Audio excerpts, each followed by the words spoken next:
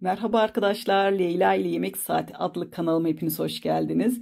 Evet, o çok beklenilen mochi tarifim şu an karşınızda duruyor arkadaşlar. Nasıl olmuş ama? İnanılmaz güzel ve orijinal bir tariftir. Lütfen tarifteki malzemelere dikkat edin arkadaşlar. Benim başıma gelen hatayı sizler yapmayın diye Videoyu sonuna kadar izlemenizi tavsiye ederim. Tarifi vermeden önce yaptığım o hatayı sizlerle paylaşmak istiyorum ki arkadaşlar sizler de aynı hatayı yapmayın.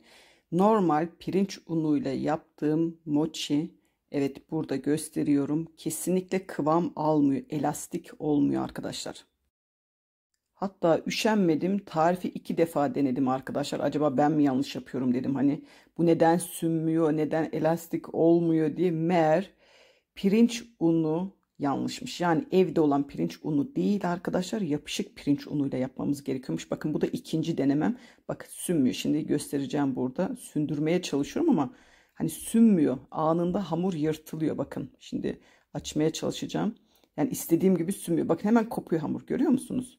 İşte bu normal pirinç unuyla yapılan ve olmayan mochi.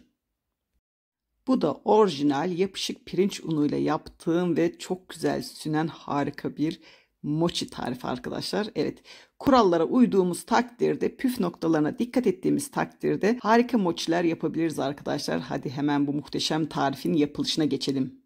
Karıştırma kabımızın içine yapışık pirinç unu, nişasta, şeker ve sütümüzü alalım. Şöyle pürüzsüz hale gelene kadar çırpalım arkadaşlar. Sonrasında gıda boyası olarak ben pembe kullanmak istedim. Siz hangi rengi kullanmak isterseniz onu kullanabilirsiniz. Hatta sade beyaz da yapabilirsiniz. Sadesi de çok güzel oluyor arkadaşlar. Gıda boyasını şöyle karıştırdıktan sonra tekrardan çırpma işlemine devam ediyorum. Sonrasında da üzerine streçleyip böyle e, bıçakla birkaç delik açıyorum arkadaşlar ve mikrodalga fırında 4 dakika kadar pişmeye göndereceğim. Bunu tavada da pişiriyorlar ama tavadaki böyle bir yarım saat sürdüğü için ben mikrodalga fırına göndermeyi tercih ettim. Aldığım tarifte de mikrodalga fırında pişiriyordu bayan. O yüzden e, mikrodalga fırına e, gönderip mochimizin hamurunu pişirelim.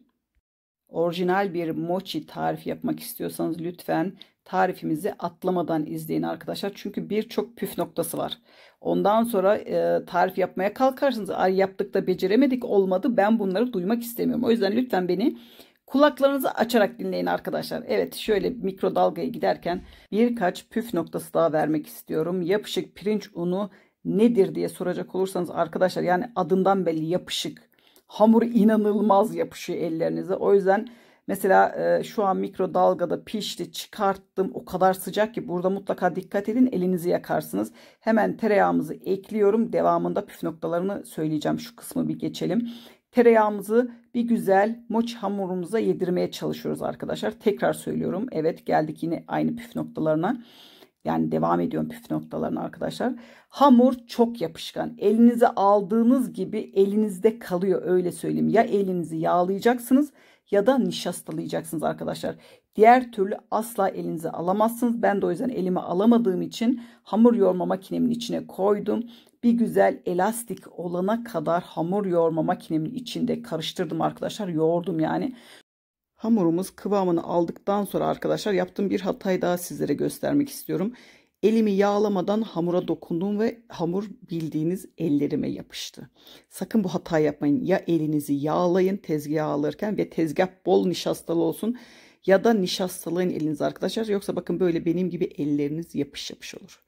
Tezgah nişastalı üzerine de nişasta döktüm. Şöyle spatulayla e, hamuru e, tezgaha dökmenizde fayda var.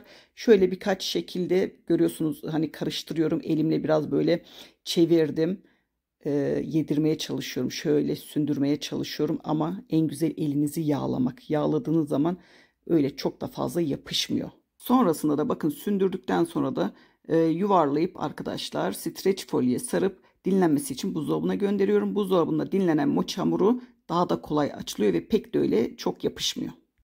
Hamurumuz buzdolabında dinlenirken gelin bizler de iç kremasını hazırlayalım. Tenceremizin içine sütümüzü, şekerimizi, unumuzu, nişastamızı ve yumurtamızı ilave edelim ve çırparak muhallebimizi pişirelim. Evet, mochi yaparken gereken püf noktaları. Birinci ve en önemli püf noktası yapışık pirinç unu almanız lazım arkadaşlar. İkinci püf noktamızda e, hamuru karıştırırken böyle elimizle yoğurmak istersek şayet ki ben tavsiye etmiyorum. Ya elinizi yağlayın ya da nişastalayın. Makinede yoğurması en güzeli o yüzden makineye koyun. Üçüncüsü de arkadaşlar buzdolabında mutlaka hamurun dinlenmesi lazım. Evet muhallebimiz de oldu bu arada. Şöyle ocağın altını kapattık. İçine tereyağımızı ve vanilyamızı kattık arkadaşlar. Önce şöyle bir karıştırıyorum yağ eriyene kadar. Sonra da blenderla pürüzsüz hale gelene kadar çekiyorum. İnanın bu aralar böyle hep değişik tarifler yapısım geliyor. Yani hiç kimsenin sayfasında olmayan, yabancıların yaptığı, onlardan gizlice aşırdığım tarifleri alıp yapıp sayfama koymak istiyorum arkadaşlar. Evet muhallebimiz pürüzsüz hale geldi. Şimdi böyle sıcak sıcak şöyle kasemizin içine dökelim. Üzerine streç folye kapatalım ve soğuması için kenarda biraz bekletelim arkadaşlar. Muhallebimiz soğuduktan sonra da çırpma kabımızın içine kremamızı alalım ve sertleşene kadar çırpalım. Daha sonra da sertleşen kremamızın içine soğuttuğumuz muhallebimizi katalım arkadaşlar ve pürüzsüz hale gelene kadar böyle kaymak gibi olana kadar çırpma işlemine devam edelim. Bu arada fark ettiniz mi? Bu pastane kremamı birçok tarifimde deniyorum. Neden? Çünkü çok memnunum. Gerçekten inanılmaz lezzetli. Yani lezzetli bir tarifi bulmuşken farklı tarifler aramaya gerek yok arkadaşlar. O yüzden o lezzetine garanti verdiğim tarifi devamlı her bir tarifimde kullanmayı seviyorum. Evet görüyorsunuz değil mi? Şunun güzelliğine bakar mısınız ya? Pastane kreması. Allah'ım çok lezzetli oluyor bu krema. Kremamız da tamamdır. Şimdi streçleyip buzdolabına koyduğumuz moç hamurumuzu aldık. Şöyle dilimler halinde kesiyorum arkadaşlar. Buzdolabında dinlenince gerçekten ele alınıyor ve öyle pek de fazla yapışmıyor. Ama yapışmaya kalktığım böyle hemen nişastalıyorsunuz ellerinizi. Şöyle yuvarladım ve yine bolca nişastayla arkadaşlar yuvarlak bir şekilde açtım. Çünkü gerçekten tezgaha yapışıyor. O yüzden nişastalayın sonrasında nişastasını silebilirsiniz ama hiç de fark etmiyorsunuz yani nişastalı olduğunu. Ya bir kasenin ya da böyle yuvarlak bir aparatın içine koyuyoruz. İçine de bolca pastane kremamızdan sıkıyoruz. Daha sonra şöyle uç kısımlarını birleştiriyoruz arkadaşlar. Böyle yukarıdaki fazlalığı alıyoruz. Yuvarlayarak da kopartıyoruz. Şöyle çevre çevre kopartıyoruz ve mochimiz hazırdır arkadaşlar. Evet o Japon pirinç keki denilen Türkçe'de yani ama e, normalde adı mochi. İnanılmaz orijinal harika bir tarif oldu. O yüzden mutlaka ama deneyin bu tarifi. E, bu yapışık pirinç unu da çok pahalı bir şey değil. Yani yarım kilosuna 110 lira mı ne verdim öyle bir şey. Bence çok pahalı değil çünkü şu an hiçbir şey ucuz olmadığı için bilemiyorum artık yani. Evet ikinci bir tane daha derim deneyeyim sizler için. Bu tariften kaç tane çıkıyor biliyor musunuz arkadaşlar?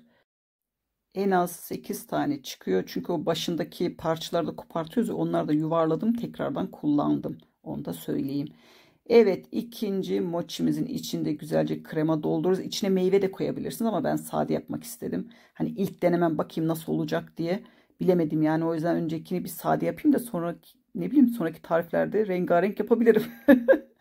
İkinci mochimiz de hazır. Şöyle e, muffins e, kalıpları var ya şöyle kağıt kalıplar onlara koyuyoruz ve mochilerimiz hazırdır. Şimdi şöyle bir elimize alalım da bir keselim de bir gösterelim değil mi arkadaşlar? Çoluk çocuk bayılacak.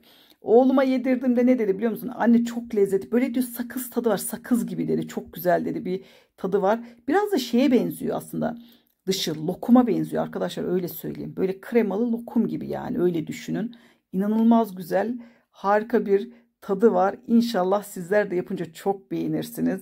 Ama mutlaka yapın derim bu güzelim tarifi. Hep aynı tarifler olmasın biraz da değişik bir şeyler yapalım diyorsanız bence bu tarif size göre arkadaşlar. Söyleyeyim yani. Hele şunun içinin güzelliğine bakın. Görüntüsüne bakın. Vallahi çok güzel ya. Yani yemin ettirmeyin beni. Gerçekten yapın güzel bir tarif. Tariflerimizi beğenip paylaşmayı, yorum yapmayı unutmazsanız çok mutlu olurum. Ki geldik bir tarifin daha sonuna. Umarım tarifimizi sizler de yapınca çok ama çok beğenirsiniz. Tarifimizi yapan herkese şimdiden afiyetler olsun ve bir sonraki tarifte görüşmek ümidiyle kendinize çok iyi bakın. Hoşçakalın.